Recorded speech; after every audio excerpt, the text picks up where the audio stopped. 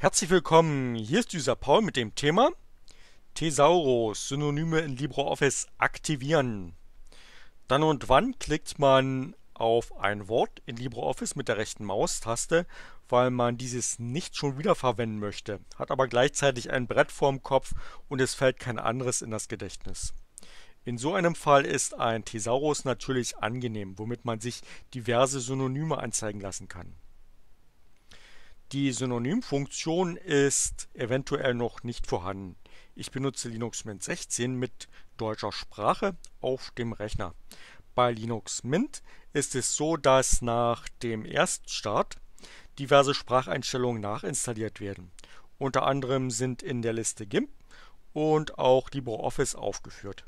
Deswegen habe ich bisher noch nicht darüber nachgedacht. Die Thesaurus-Funktion wird allerdings ganz offenbar nicht berücksichtigt.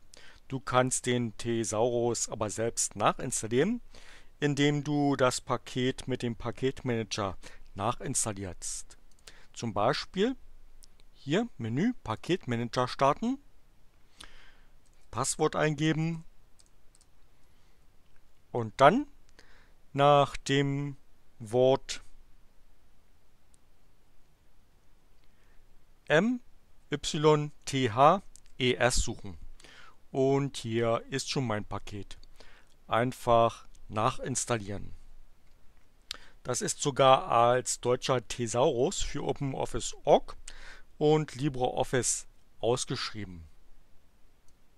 Ebenso kann das Paket auch in der Kommandozeile nachinstalliert werden, mittels Befehl sudo apt-get install und Paketname.